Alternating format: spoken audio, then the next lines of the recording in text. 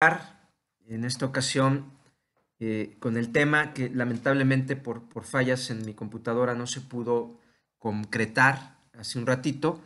Entonces voy a avanzar con este tema y lo voy a grabar para que lo puedan ustedes revisar. El día de hoy me interesa tener este primer acercamiento al reglamento de construcciones de la Ciudad de México, pero también vamos a estar observando una serie de imágenes de obras para que podamos ir eh, entendiendo cosas que eh, van a tener que reflexionar al momento en el que profundicemos un poco más en el reglamento. Entonces, en primer lugar, recordar que el riesgo es un futuro negativo y que tiene que ser creíble a partir de la construcción de modelos que nos permitan elaborar construcciones intelectuales verosímiles de lo que podría ocurrir en términos negativos. El riesgo de desastre pues son daños y pérdidas del futuro que están relacionados con amenazas, en este caso hemos trabajado el tema sísmico, eh, aunque también se puede trabajar el tema de viento o el tema de lluvia o incluso el tema de tsunamis alrededor de las estructuras. Y eh, esta capacidad destructiva, que en el caso de los sismos puede afectar a diferentes bienes que están dentro de su área de afectación, a estos bienes les denominamos bienes expuestos y en este caso, los bienes expuestos son estructuras, pero también son sus contenidos. Es decir, estructuras de casas, de escuelas, de hospitales y también sus contenidos. ¿Por qué digo esto? Porque la reglamentación alrededor de las estructuras diferencia el tipo de estructura en función de su importancia y en función de eh, la exposición que hay en estos espacios. Es decir, en una escuela podemos tener en un solo espacio físico 40 o 50 niños eh, en, un salón y por lo tanto si ese salón sufre un daño, eh, el impacto, el número de personas afectadas va a ser mucho mayor.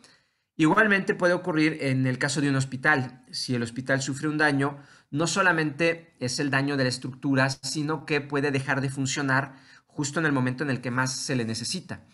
Por otro lado, tenemos también eh, instalaciones estratégicas como las estaciones de bomberos. Eh, en el mismo sentido que el hospital, si la estación de bomberos sufre un daño, eh, el impacto hacia toda la sociedad se incrementa. Por lo tanto, el reglamento de algún modo diferencia en cuanto al tipo de estructura en función de su utilidad y, por supuesto, de sus contenidos. Las vulnerabilidades, lo hemos observado ya en este asunto de las estructuras pueden derivarse del tipo de diseño, eh, diseños que eh, tengan irregularidades en planta, irregularidades verticales, que eh, estas irregularidades en planta pueden provocar torsiones en el edificio y las irregularidades en el sentido vertical pueden eh, generar cambios de rigidez en cada piso, en los entrepisos, generar pisos débiles que van a incrementar la posibilidad de que ocurran en, la unión entre los muros y, las losas o entre las columnas y las losas, ocurran fallas de cortante o puedan ocurrir eh, fallas por flexión también. Puede ocurrir que los muros, ya lo vimos, puedan tener fallas eh, diagonales derivadas también del cortante que ocurre en estos espacios y que se concentre ahí mucha de la deformación y de la disipación de energía eh, en el momento de un sismo, por ejemplo. Entonces las vulnerabilidades tienen que ver con la forma, tienen que ver también eh, con el diseño, la amenaza que se consideró. Hemos visto que los reglamentos utilizan eh, amenazas, utilizan el peligro sísmico y este peligro a veces no lo conocemos al 100% y por lo tanto cada vez que ocurre un evento tenemos que verificar si este evento estuvo por arriba del peligro de diseño o, lo rebasó o, en su defecto estuvo por debajo. Entonces, esta parte hace que los reglamentos, como lo hemos visto, sean transformados con el paso del tiempo. También existen procesos amplificadores, particularmente en el caso de las estructuras, la vulnerabilidad puede ser amplificada si usamos incorrectamente la estructura. Una estructura que fue diseñada como casa-habitación y la queremos convertir en una bodega y la llenamos de costales, eh, está provocando un incremento en el peso, en la masa que hay dentro de ese edificio y por lo tanto en las fuerzas que van a ser inducidas por el sismo, si recordamos la segunda ley de Newton que nos decía que la fuerza que tiene que resistir el edificio es igual a la masa por la aceleración. Entonces, eh, pues estos modelos los podemos convertir en ecuaciones, eh, son modelos conceptuales relacionados por esquemas que podemos transformar en ecuaciones y finalmente el riesgo son daños y pérdidas posibles de bienes vulnerables que están expuestos ante los peligros. En el caso de un desastre, eh, podríamos decir que el desastre son daños y pérdidas que ocurren de manera simultánea, muchos daños y muchas pérdidas que ocurren de manera simultánea como resultado de un solo evento que podría ser un sismo o como resultado de una tormenta severa en una ciudad, por ejemplo, ¿no? o de un huracán que induce eh, fuerzas de viento importantes. Por lo tanto, en nuestro caso, el analizar, el estudiar las estructuras tiene como propósito comprender todos aquellos aspectos relacionados con la vulnerabilidad de las estructuras. Y hasta aquí hemos analizado eh, algunos aspectos del diseño eh, que, tiene que eh, cumplir una estructura para no tener susceptibilidades al daño. Pero no solamente el diseño es un problema, también la construcción puede ser un problema, los procesos constructivos, los procesos de supervisión pueden ser un problema. Y entonces vamos a acercarnos un poco a, lo que esto significa. En primer lugar, eh, quiero compartir con ustedes algunos procesos constructivos. En este caso vamos a ver mampostería, que es lo que de algún modo más se va a acercar a, nosotros. Veamos este ejemplo de la construcción en mampostería y eh, lo podríamos discutir en la próxima sesión. Entonces, revisemos esto.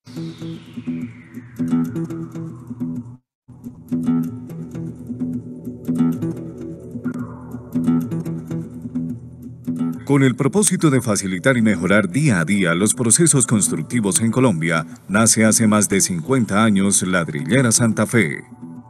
Una empresa comprometida con el desarrollo del país y pionera en Colombia en productos de arcilla.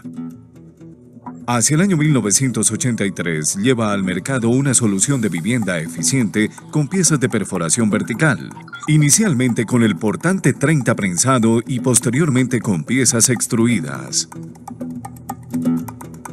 Mampostería estructural. La mampostería estructural. La componen los siguientes elementos Unidades de mampostería y accesorios, piezas de pared vertical. En este caso, ladrillo estructural, perforación vertical, pared sencilla y las piezas complementarias.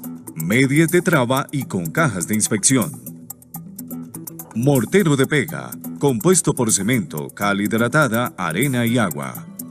Concreto de inyección o grouting, compuesto de cemento, arena, agregado tamaño máximo 3 octavos de pulgada y agua. Acero de refuerzo.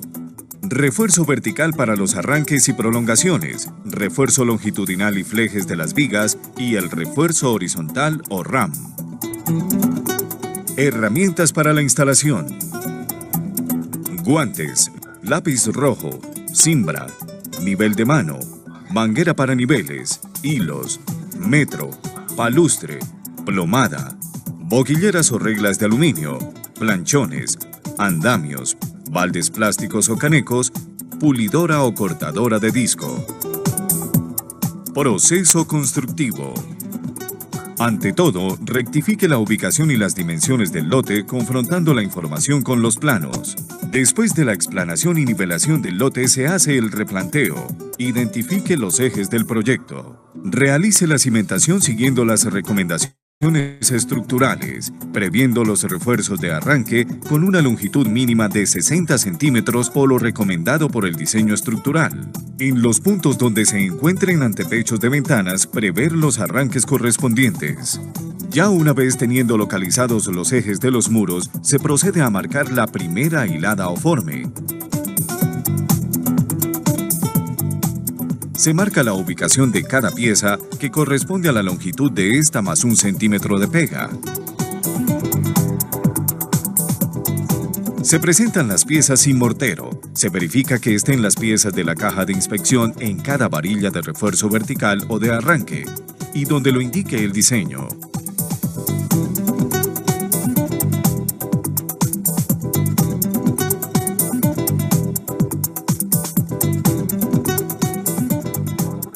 Aprobada esta primera hilada, se procede a localizar las hiladas sucesivas. Se fijan las guías verticales o boquilleras y se hace la distribución de las hiladas en altura.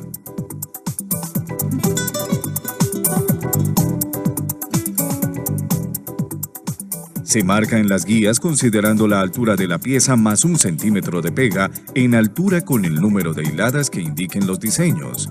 Estas definen la parte superior del muro y el nivel al que estará el entrepiso.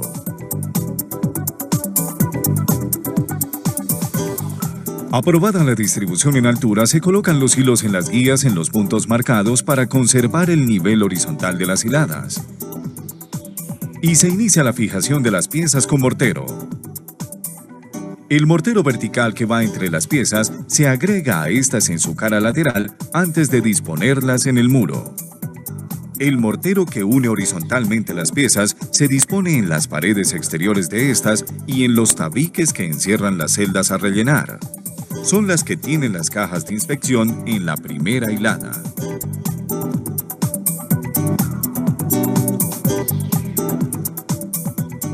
Se procurará mantener el muro lo más limpio posible.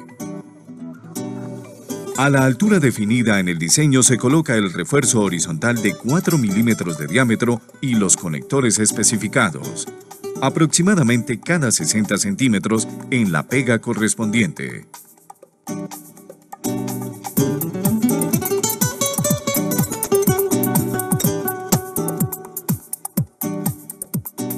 Se continúa la colocación de las hiladas en los puntos definidos procurando dejar las piezas lo más limpias posible y verificando sus plomos para que el muro quede vertical.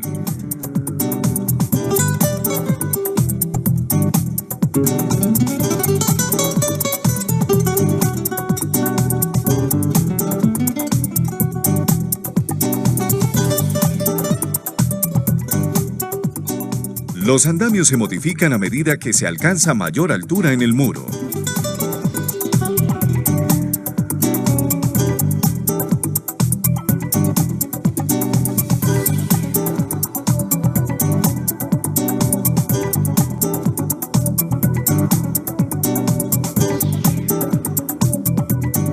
Al terminar de colocar las hiladas en altura, se procede a la preparación de las celdas para ser rellenadas con el concreto fluido.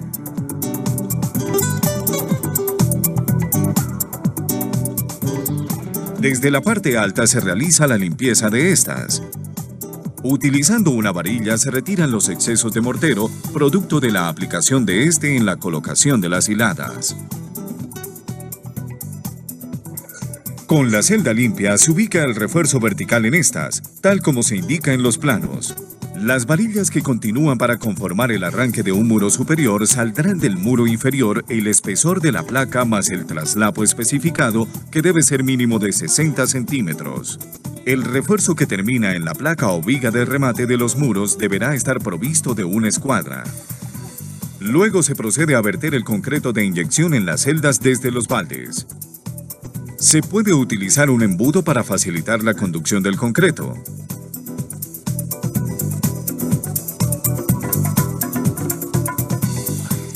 Al iniciar el llenado se verifica que el concreto sí llegue a la parte inferior, lo que nos da certeza de que ésta no se encuentra obstruida. Se tapa la caja de inspección y se termina el llenado de la celda o dovela en su totalidad. Al llenar las celdas, el muro queda listo para recibir la placa de entrepiso o la viga de remate. Al terminar la obra se lavarán los muros y se les aplicará hidrófugo si es el caso, para lo que deben seguir las recomendaciones que tiene Ladrillera Santa Fe al respecto.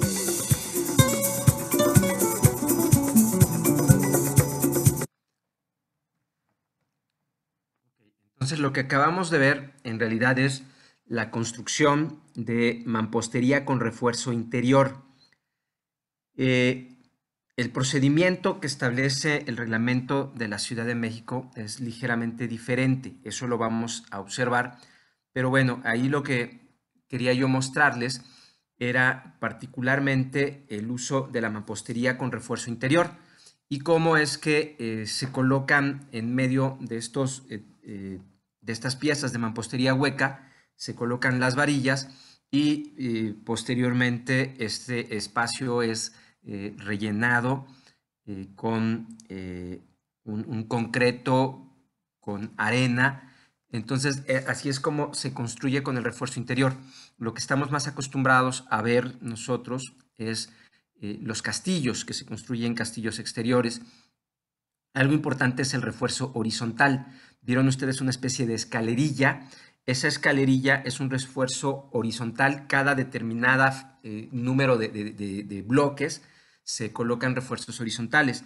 Ese refuerzo horizontal, como ustedes lo observaron, era una especie de escalerilla. En México eh, es distinto el uso de refuerzo horizontal. Entonces, lo vamos a ver conforme vayamos avanzando en el reglamento, pero sí quería dejar en claro cómo es eh, esta metodología de manera eh, inicial. Ahora, lo que vemos en esta fotografía es un edificio con muros de concreto. Aquí vemos algo distinto.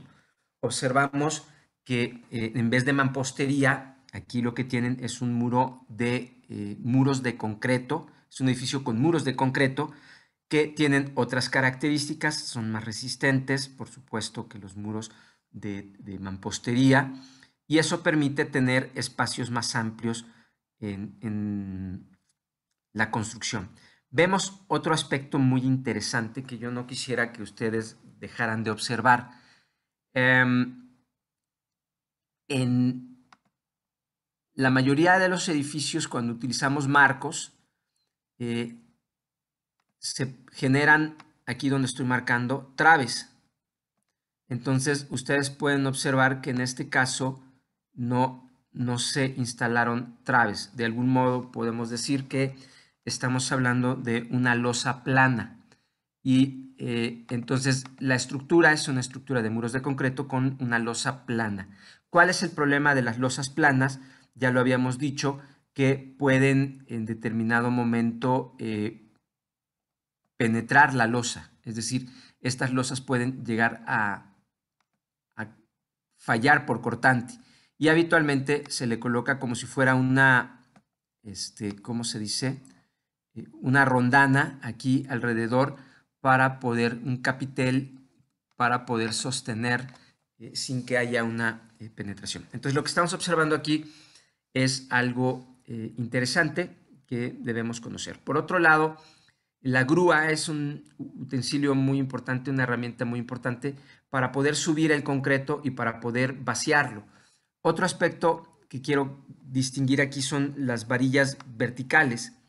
Entonces, eh, se colocan varillas verticales y después vienen las horizontales. Pero habitualmente, conforme vamos avanzando en la construcción, se dejan estas varillas eh, que se van a conectar con la siguiente losa, es decir, las varillas que están ahí van a terminar conectándose con la siguiente losa, eh, una vez que están, por supuesto, colados, que están, aquí vemos la cimbra, esta simbra sirve para detener el concreto.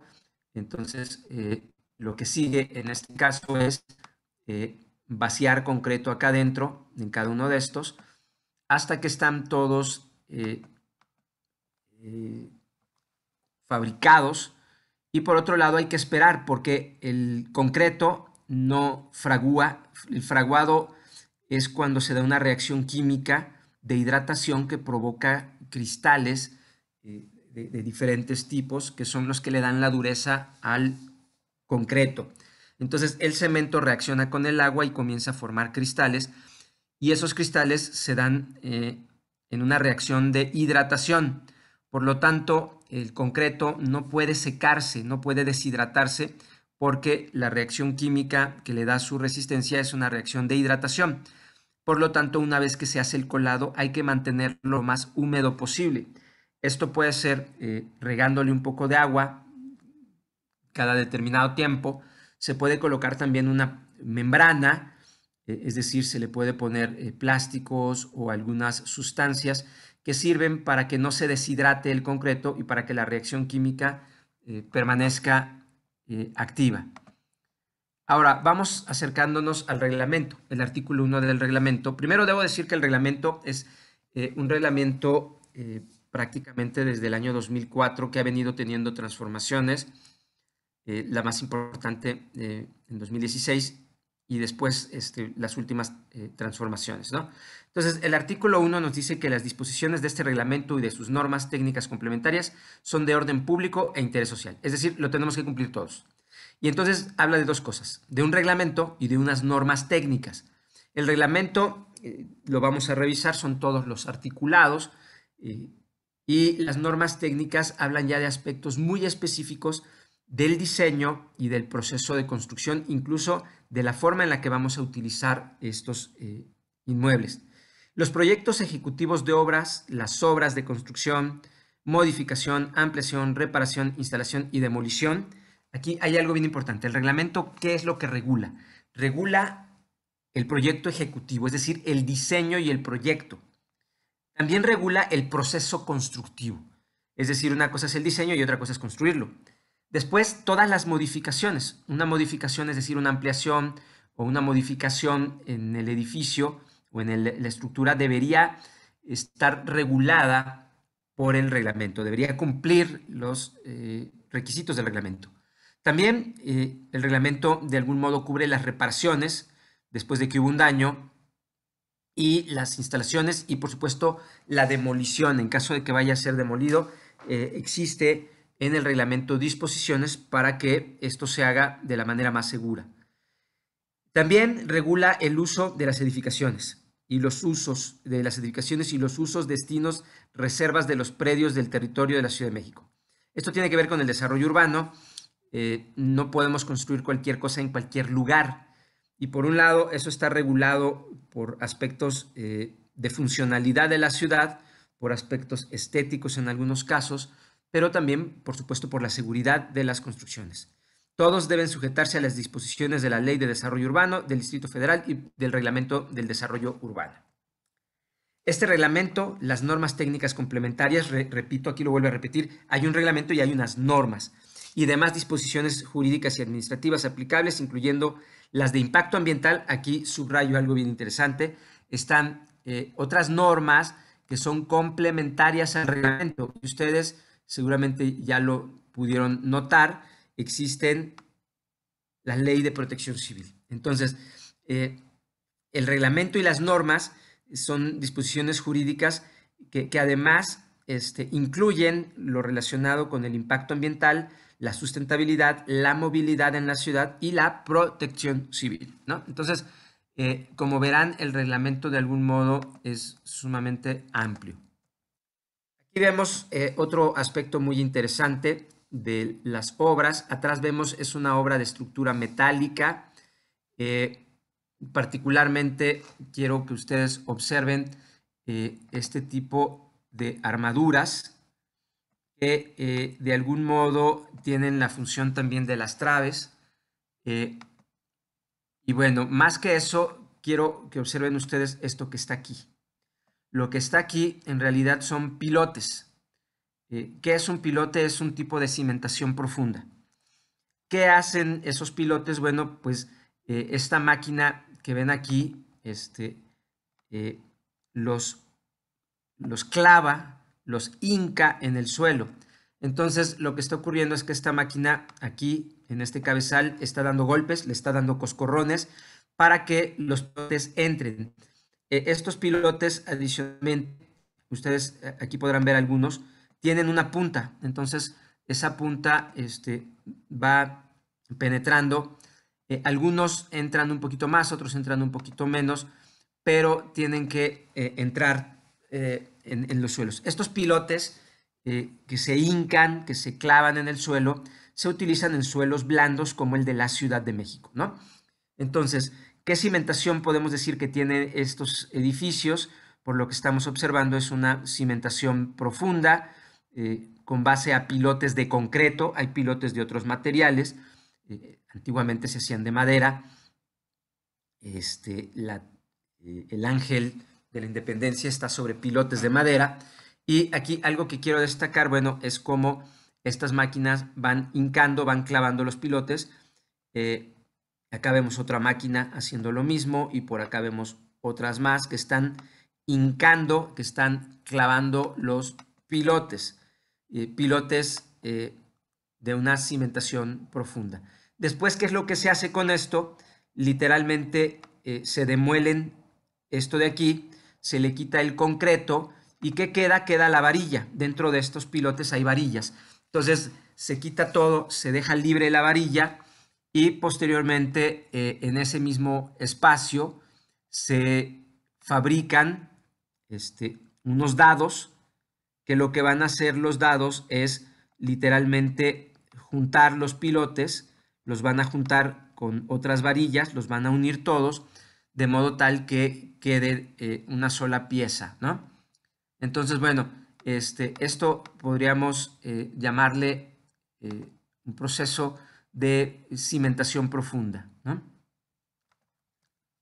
Ahora, el artículo 2 nos dice que el propietario o poseedor es la persona física o moral que tiene la propiedad o posesión jurídica de un bien inmueble, donde se pretende realizar alguna construcción, modificar la estructura de la construcción existente o construir una nueva estructura.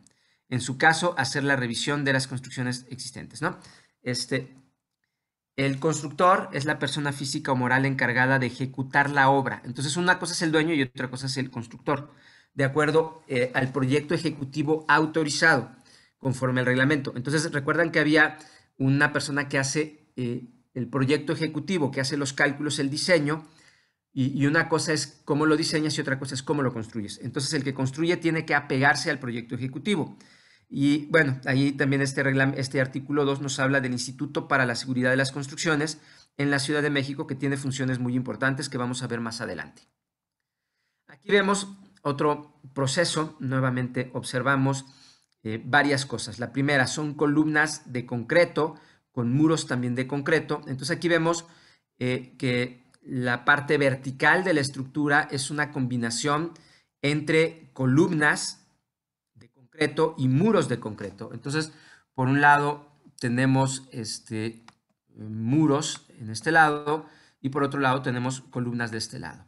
Lo importante de todo esto también es eh, observar un poco el armado. El armado son las varillas, que ya dijimos que tiene varillas verticales, pero particularmente para resistir el cortante, la torsión y la compresión y evitar que estas eh, varillitas tarde o temprano por eh, las fuerzas que se les apliquen se, hagan así, se panden, pues en vez de eso lo que les colocamos son este tipo de refuerzo horizontal, estribos, eh, que dependiendo el, diseño pueden ser eh, de diferente eh, diámetro.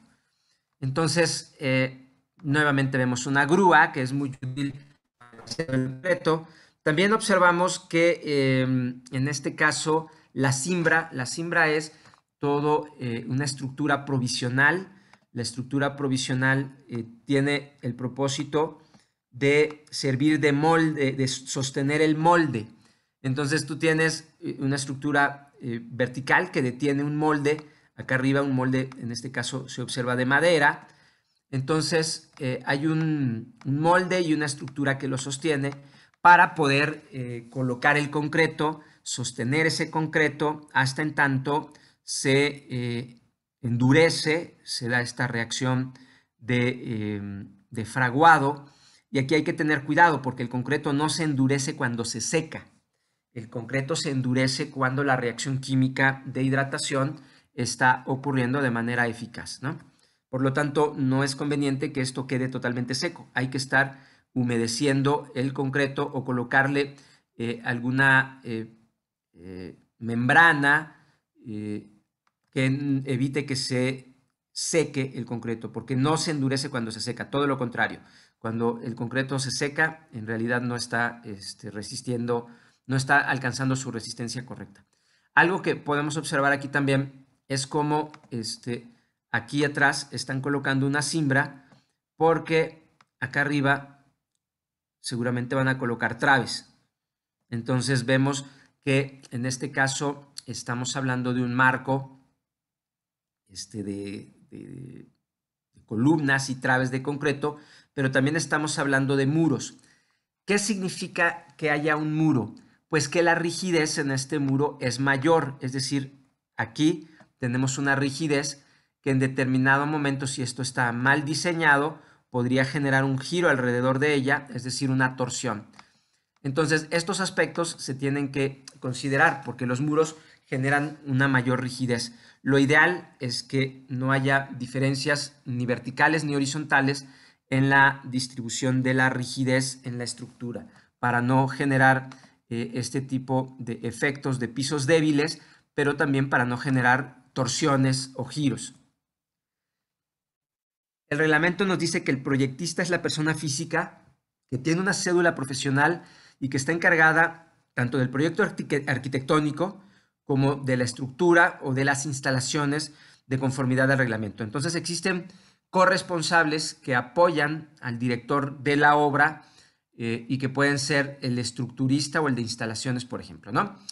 Eh, también hay un comité de usuarios del subsuelo, que es un órgano consultivo de apoyo y coordinación interinstitucional en materia de protección civil de la Ciudad de México.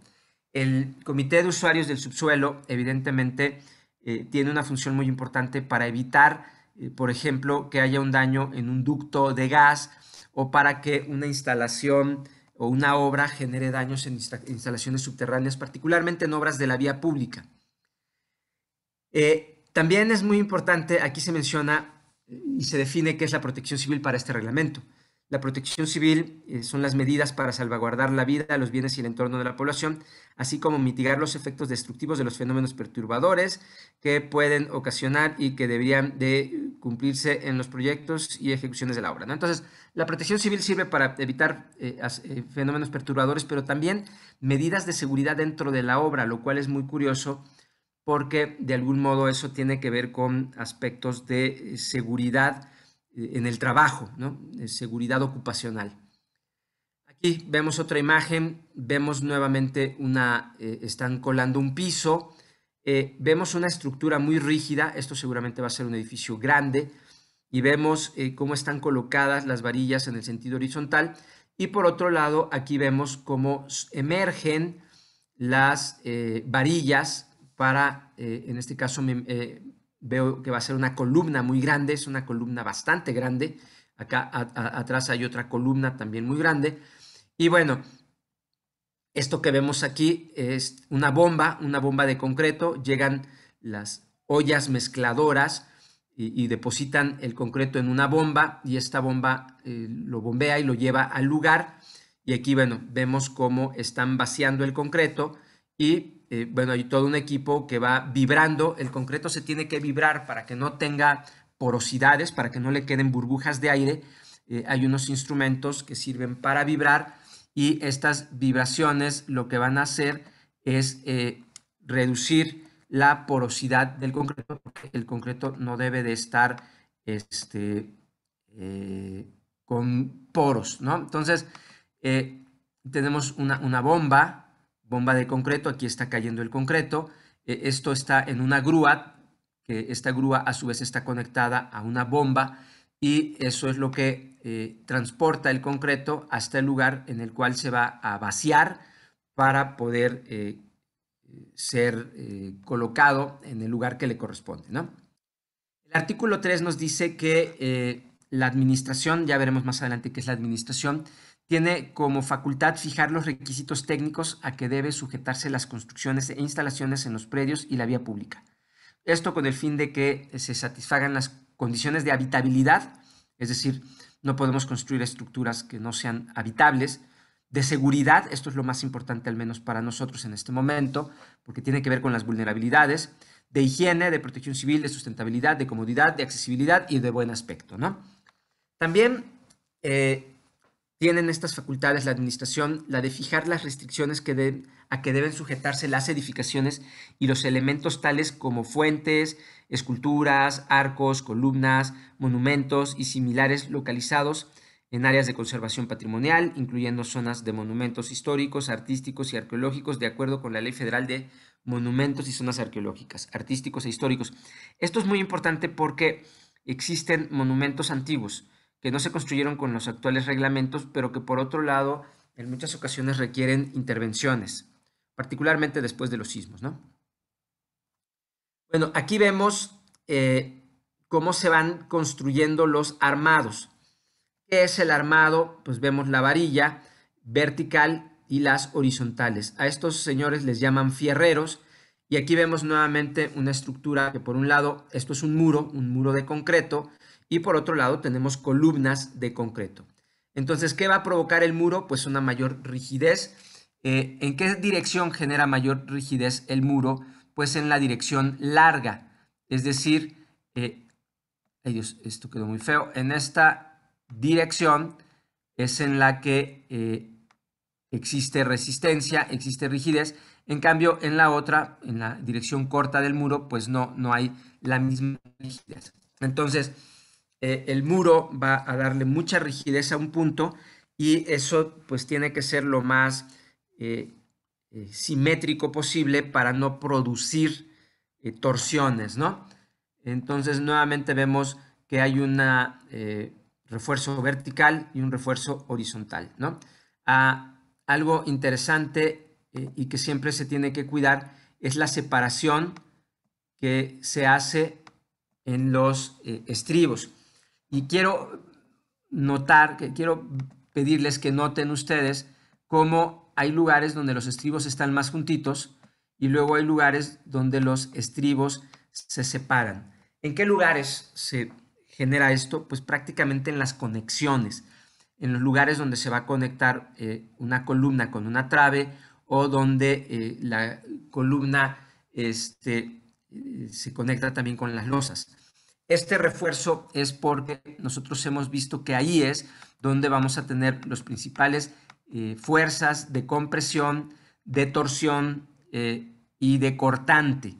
Entonces, el diseño incluye estos aspectos, ¿no?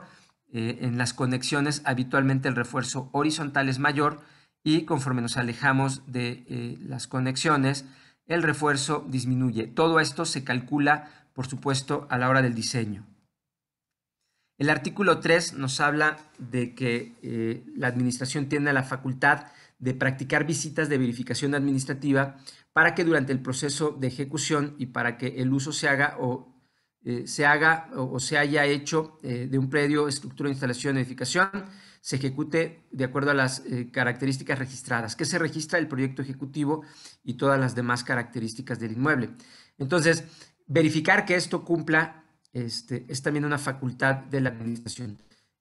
tiene la facultad de acordar las medidas que fueren procedentes en relación con las edificaciones que pongan en peligro a las personas o sus bienes y aquellas que causen molestias entonces, la eh, administración puede en determinado momento eh, establecer medidas cuando algo no se esté llevando de acuerdo al proyecto eh, originalmente registrado. Autorizar o negar, de acuerdo con este reglamento, la ocupación total o parcial o uso de una instalación, predio o edificación. Es decir, las autoridades tienen la posibilidad de eh, negar el uso de un inmueble que no haya cumplido el reglamento o que se encuentre en condiciones de riesgo. Vamos a ver un, video más relacionado con la mampostería este, y que nos puede ayudar a complementar un poquito el proceso constructivo de mampostería eh, hueca. Zona inmobiliaria, construcción, diseño y vivienda.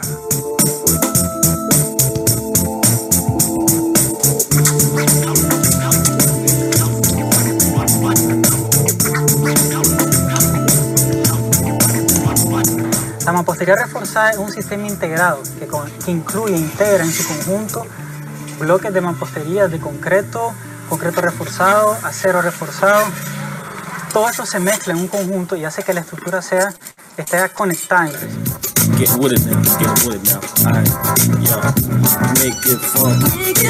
¿Qué te permite todo este sistema constructivo?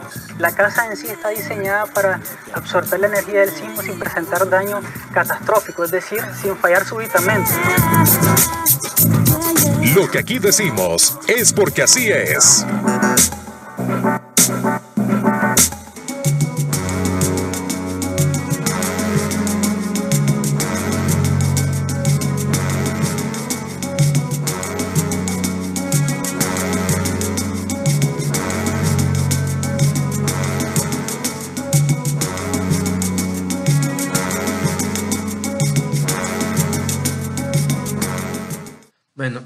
Importante que hay que mencionar es que eh, el uso de mampostería es eh, muy generalizado y por otro lado, este uso de la mampostería también representa una solución muy apropiada, particularmente para eh, la vivienda.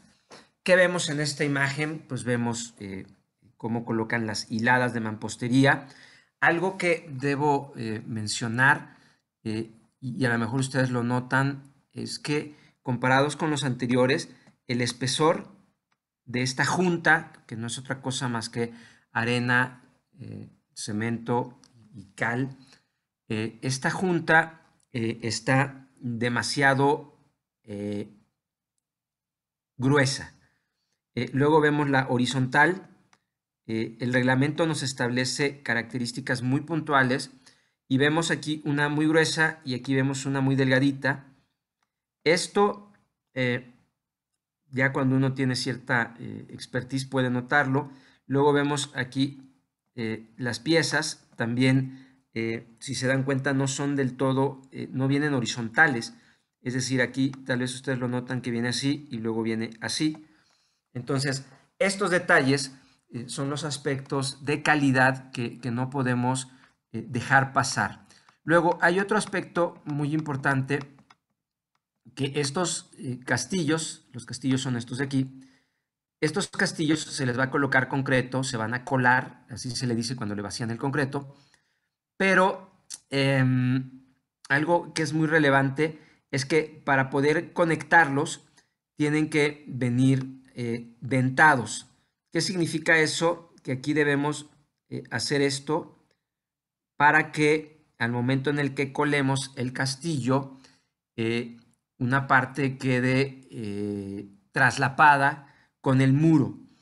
Eh, uno de los problemas que aquí se ve también es que el dentado pues no es parejo. otro aspecto muy importante es que dijimos que el concreto, aquí tiene cemento, el cemento adquiere su dureza a partir de una reacción química de hidratación. Es decir, eh, la humedad es la que hace, el agua es la que hace que se endurezca. Si nosotros tenemos tabiques que son porosos y que además están secos, lo que va a hacer el tabique es robarle el agua al cemento. Entonces, esto le va a quitar agua, el agua se va a meter acá y por lo tanto la mezcla de cemento, arena y cal se va a deshidratar y cuando se deshidrata eh, pierde su capacidad de generar resistencia. Por lo tanto, y a lo mejor lo han escuchado ustedes, de que si le mojo los tabiques, maestro, significa que el tabique tiene que estar húmedo, previamente humedecido, ¿para qué?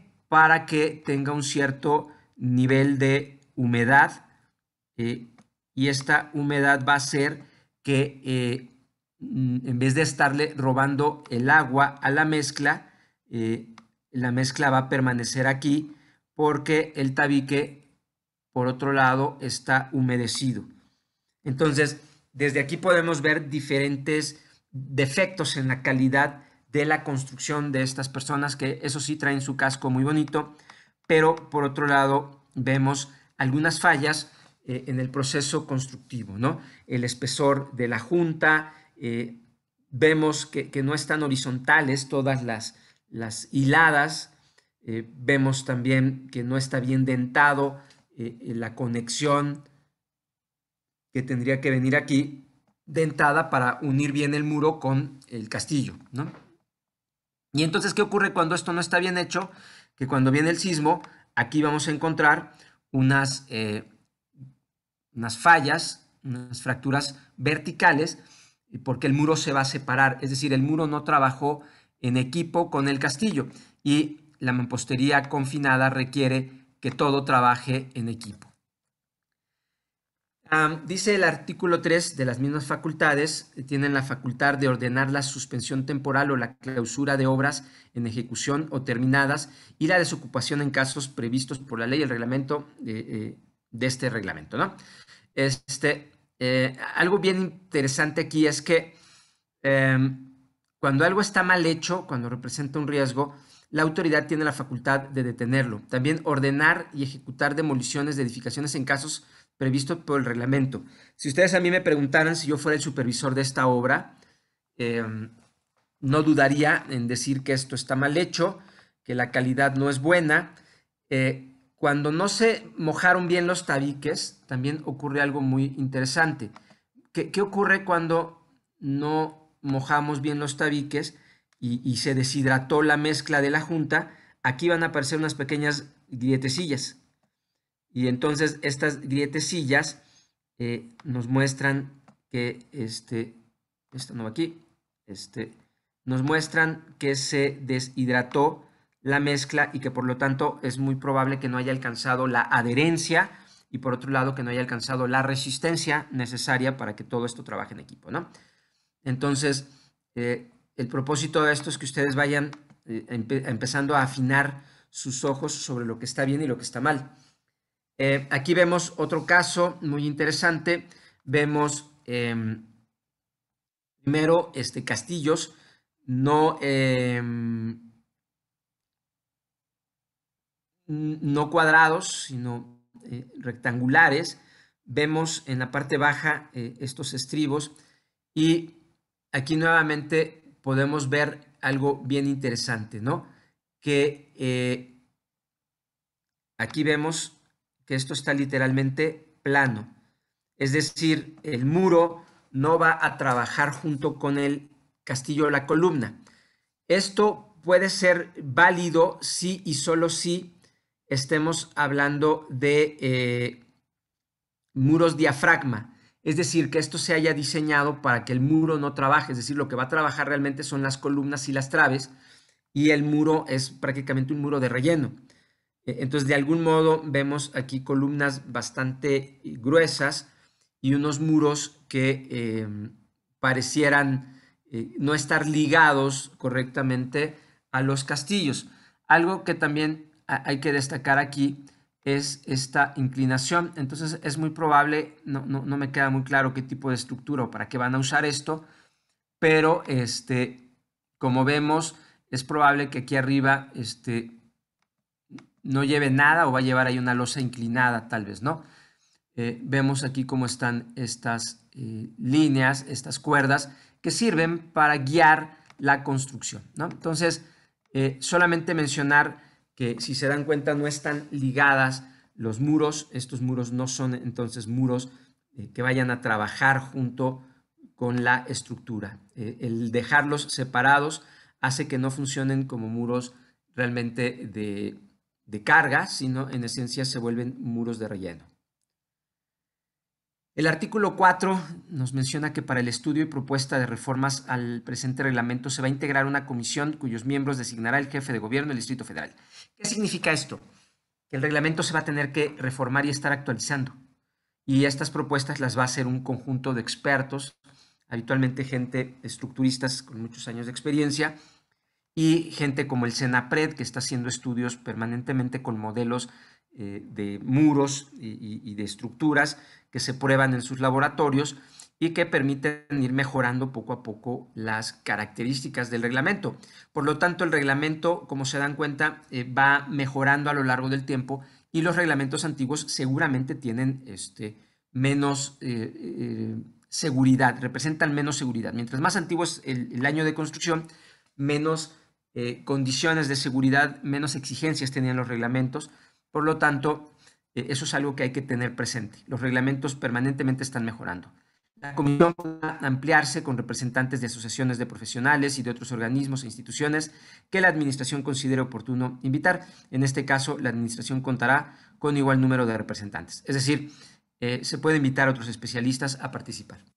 Aquí vemos eh, un muro de material multiperforado y nuevamente el, detalle fino es que eh, existe eh, irregularidades. Aquí vemos esta separación y si la comparamos con esta otra separación, pues esto es muy probable que ya no cumpla con los requisitos del reglamento. Horizontalmente pareciera que no está tan mal, pero este, verticalmente vemos estas deficiencias, ¿no? Nuevamente vemos eh, eh, piezas de mampostería muy secas, en este caso son piezas extruidas. Hay piezas que son artesanales y hay piezas que se fabrican, eh, que, están hechas en fábrica por a presión. También otro aspecto que quisiera yo destacar es la irregularidad en los tabiques. Aquí vemos un color distinto. Este color de algún modo nos muestra un grado de cocción distinto a la parte de arriba. Entonces se ven diferencias en, ambos casos, ¿no? Y otro aspecto importante es la porosidad. Estos huequitos de algún modo podrían representar este, eh, menor resistencia, ¿no? Entonces a veces tenemos que ver que sean materiales similares, que no haya variaciones importantes y por otro lado que la densidad de los materiales pues sea suficientemente buena, ¿no? El artículo 5 nos dice que las áreas competentes en la delegación o en la Secretaría de Desarrollo Urbano y Vivienda para registrar manifestaciones de construcción, expedir licencias de construcción especial, permisos y autorizaciones. Aquí ya vemos que puede haber licencias de construcción, eh, manifestaciones de construcción, permisos y autorizaciones. Deben contar con lo menos, eh, cuando menos, con un profesional calificado con registro vigente de director responsable de obra o corresponsable, con el objeto de que emita las opiniones especializadas que le sean requeridas. Es decir, no se vale que te revise alguien que no tiene la misma preparación. como puede, ver, cómo puede haber alguien eh, en las áreas de los gobiernos que tengan menor nivel que un director responsable de obra, ¿no? Aquí vemos otro tema bien interesante. Este, pueden ustedes observar varias cosas. La primera es que no tiene castillos, por lo tanto estaríamos hablando de una estructura de eh, refuerzo interior. También podemos visualizar pocas varillas, pocas varillas eh, que salen. Eh, eso es un tema muy importante que debemos considerar. Se ven realmente pocas. la separación es muy grande a menos que, bueno, este, esto no se vaya a conectar con una losa de concreto, sino que vaya a ser una losa de un material aligerado, en cuyo caso eh, podría ser madera o algún otro tipo de material, ¿no? Entonces, eh, este tipo de detalles pues tienen que llamar nuestra atención, ¿no? Vemos que la calidad del muro es al parecer buena calidad, no se notan eh, muchas separaciones. Algo que también debo destacar es que aquí ustedes pueden observar esto. Este, existe aquí una pequeña estructura de concreto que al parecer eh, sigue a piezas de mampostería. No, me queda muy claro, esto habría que verlo en el sitio, pero eh, esto debe llamar nuestra atención inmediatamente, ¿no? El reglamento habla en el artículo 24 que el alineamiento es la traza sobre el terreno que limita el predio respectivo con la vía pública en uso determinada en los planos debidamente aprobados. ¿Qué quiere decir eso?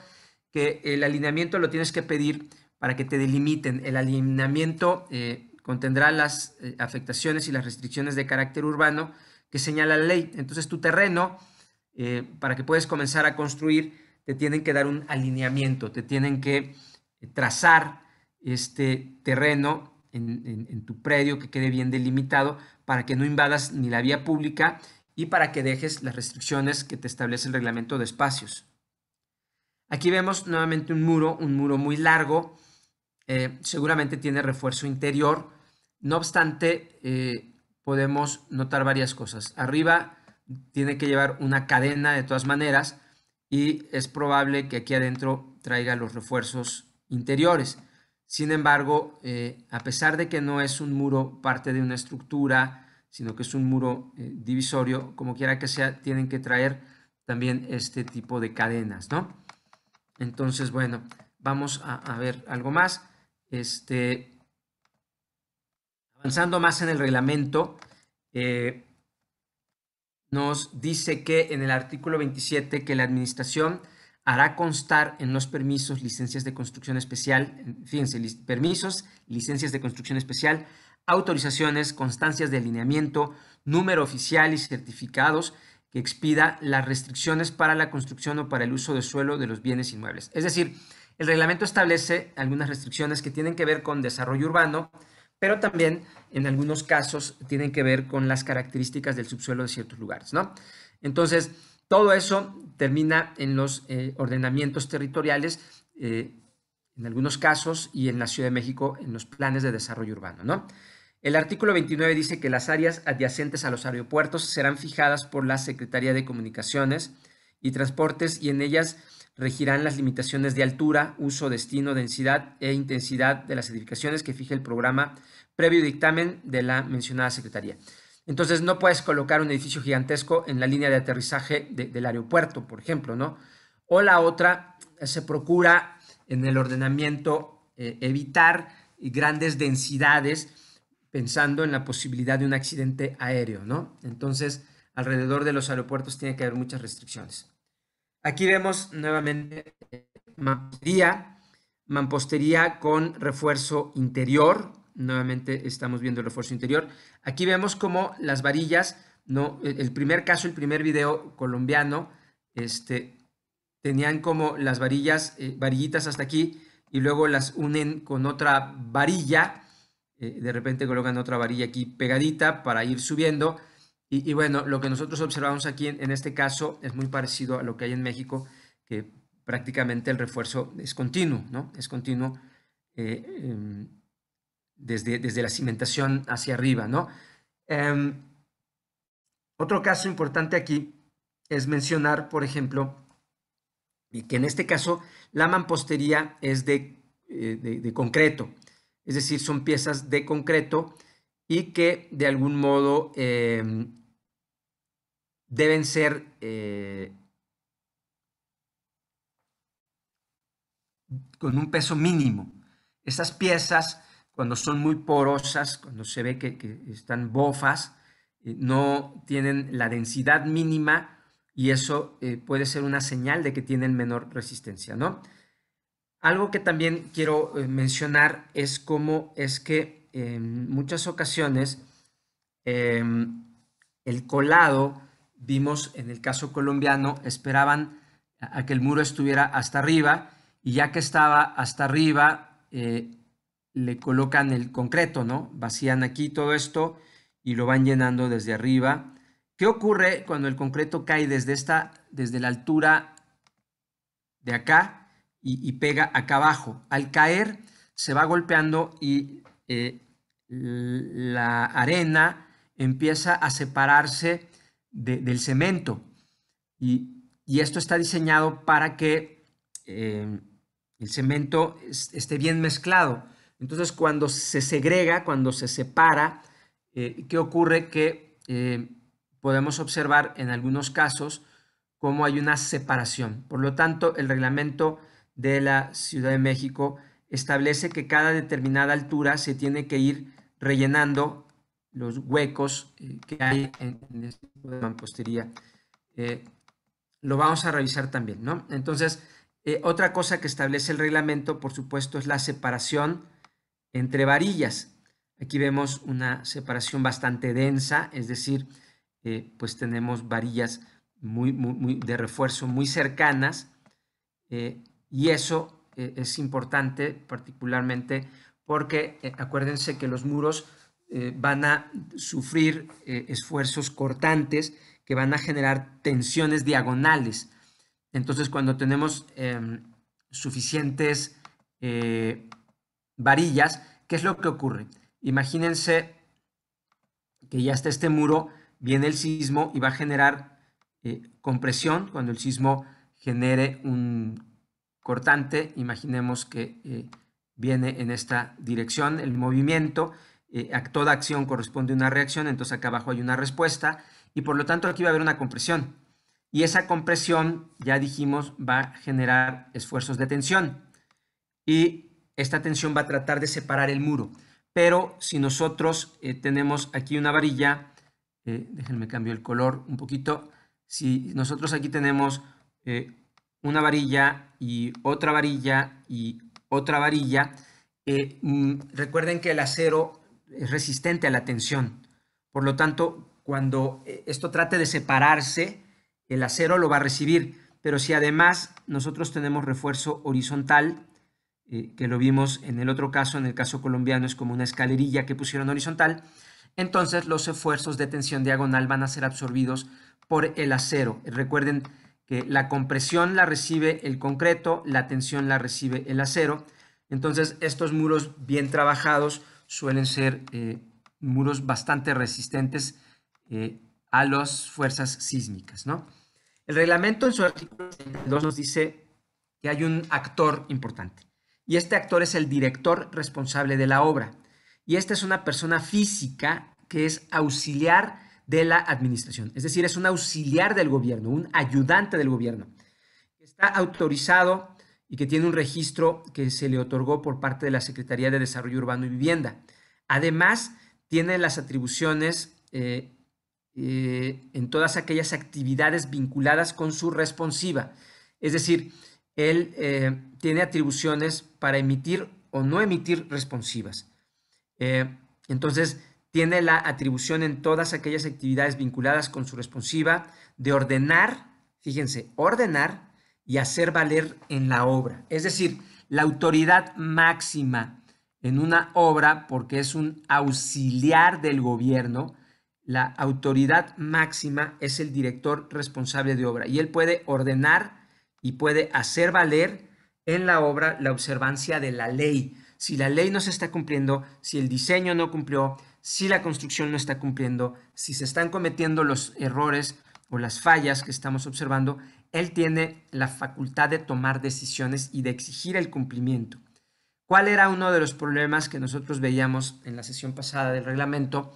Que em, los eh, directores responsables de obra trabajaban para los dueños y por lo tanto eh, no puedes con tanta libertad exigirle a tu dueño, perdón, a tu, a tu cliente, exigirle con la misma libertad. Entonces, ese ha sido, por supuesto, uno de los problemas más importantes y que se ha tratado de resolver, ¿no? ¿Cómo evitas el conflicto de intereses en estos casos? Aquí, bueno, vemos mampostería. Por la calidad pareciera que es mampostería artesanal. Eh, ¿Por qué se ve el cambio de color en la mampostería artesanal? Porque vemos de repente eh, piezas de un color y, otras que pareciera que tienen como otro color, ¿no? Aquí vemos esto más oscuro y, aquí vemos estas piezas más claritas. La mampostería artesanal está castigada en su resistencia. ¿Qué quiere decir de eso? Que, el reglamento no confía tanto en la mampostería artesanal, ¿no? Y por lo tanto, la mampostería artesanal, em, de algún modo, eh, se le castiga la resistencia.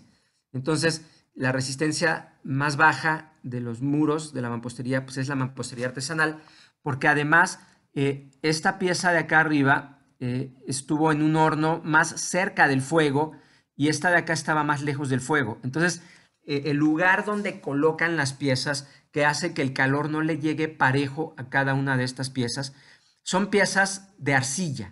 La arcilla eh, se mezcla y se mete en unas prensas y luego se mete a un horno y en este horno la arcilla se transforma a eh, otro tipo eh, de, material, eh, metacaulines, que, de algún modo son los que le dan la resistencia al tabique. Pero como el calor no les llega parejo, un tabique tiene una característica de resistencia y otro tiene una distinta. Depende qué tan cerca estuviste del calor, ¿no? Al momento de entrar al horno y eso pues ya le da menos eh, calidad, ¿no? aquí vemos algo extraño, este, esto no queda muy claro si lo que trataron de hacer aquí fue conectar un muro lateral, pero lo que nos dice el reglamento en la Ciudad de México es que en todos los cruces de muros, en todos estos espacios, tenemos que construir castillos. Entonces aquí debería de venir un castillo. Si aquí viene un muro en esta otra dirección, eh, no deberían de ser esta cosa rara, sino aquí debería de venir otro castillo. Los castillos eh, van a cierta distancia, eh, en las puertas debe de venir un castillo, en las ventanas también lo vamos a ver más adelante, pero lo, delicado de este caso es primero el material es artesanal, se confía menos en él porque es menos homogéneo, pero lo que sí sería motivo para exigir un cambio drástico es esto, ¿no?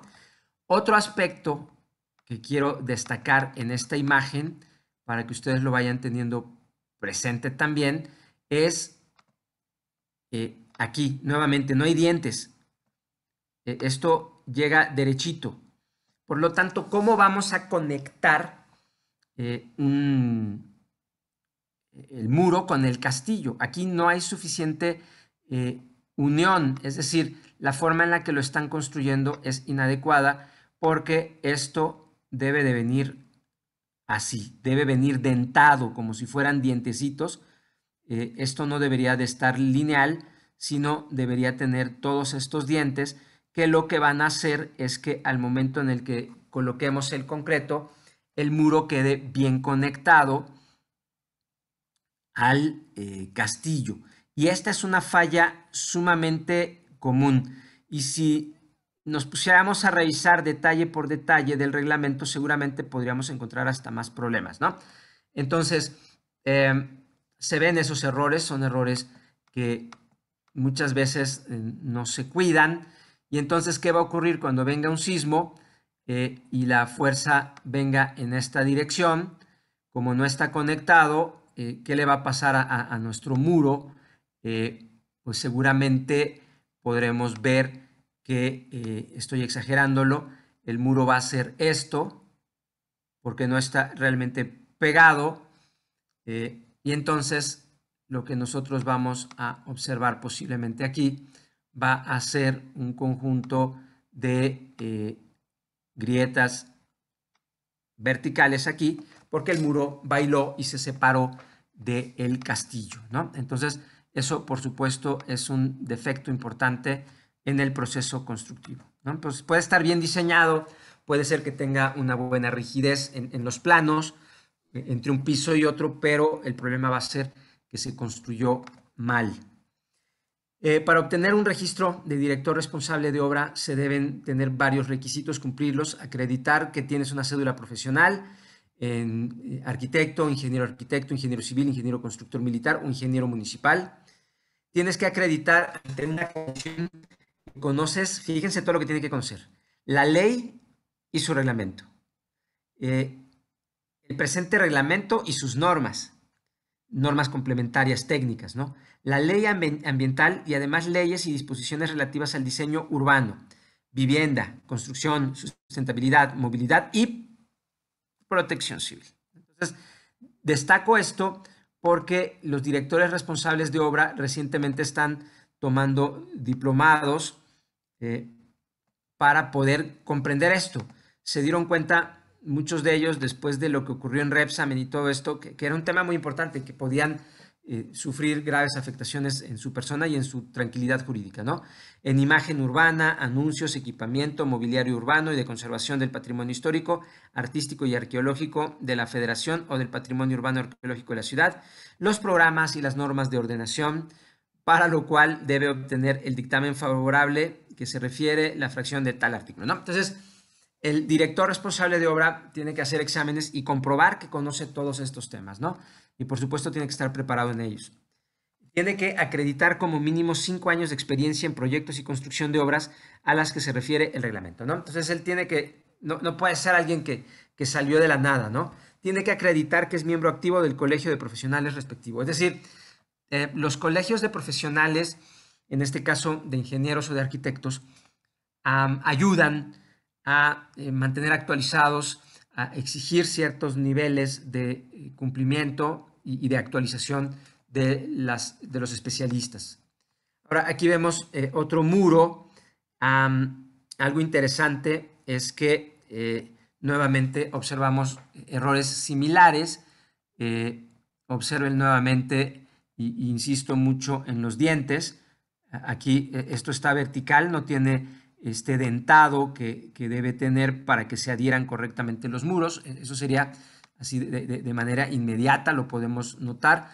Otro aspecto es que eh, debe tener castillos en todos los, eh, alrededor de todas las ventanas. Entonces vemos que aquí hay un castillo y vemos que de este lado le falta uno. Entonces aquí el diseño a lo mejor está bastante raro porque eh, es probable que pues si tú ya vas a hacer esto y, cumples esta distancia, pues igual te convendría este, quitar este pedazo de aquí, ¿no? eso lo ve el diseñador. El asunto es que si tú lo tienes así, este, tiene que llevar eh, castillos, ¿no? En, la unión también tiene que llevar castillos, este, y, por lo demás pareciera que la calidad del material es una, calidad más o menos homogénea, se ve más o menos del mismo color, y vemos eh, las juntas todas como del mismo tamaño, eh, me parece que, es una buena calidad, el único problema aquí es que cuando venga un sismo, pues esto no va a trabajar eh, de manera correcta, repito, sobre todo cuando eh, ocurran fuerzas de este lado. ¿Y qué vamos a encontrar? Pues una flexión. ¿Y, qué ocurre cuando hay flexión en los muros eh, o, en una columna? Pues bueno, imagínense que esto se flexiona, por lo tanto vamos a encontrar posiblemente acá abajo daños de compresión, es decir, aplastados algunos tabiques tal vez, pero imagínense que el sismo viene de regreso y eh, ocurre en la otra dirección, eh, el, movimiento, y entonces lo que vamos a tener ahora acá abajo, como esto es flexión, pues aquí vamos a tener unas grietas de tipo horizontal, porque aquí hubo tensión de este lado, es decir, eh, el, movimiento hizo que hubiera esfuerzos de tensión de este lado. Entonces, si de repente vemos estos muros eh, y entonces, ¿qué encontramos? Encontramos que tiene eh, aquí unas verticales y luego vemos algunas eh, fracturitas aquí horizontales. Pues lo que nos va a indicar es que este muro sufrió flexión en esta dirección y que seguramente se debió pues a que no estaba correctamente ligado, ¿no? otra forma de construir en algunos casos, que también los vamos a ver en el reglamento, es cada determinadas filas colocar este, unas eh, varillas en este sentido. ¿Para qué sirve esto? Bueno, pues cuando venga un sismo, ya lo hemos repetido en varias ocasiones, eh, va a ocurrir una fuerza em, de cortante, entonces va a empujar en esta dirección, eh, la reacción va a ser en esta otra dirección y eh, eso que va a provocar, pues ya lo hemos dicho también, pues un esfuerzo de compresión en esta dirección, otro esfuerzo de compresión en esta dirección y eso que provoca, pues en la otra dirección nos va a generar un esfuerzo de tensión, pero eh, cuando tenemos estas eh, varillas, lo que va a ocurrir es que el esfuerzo de tensión va a ser de algún modo absorbido, tomado por las varillas horizontales.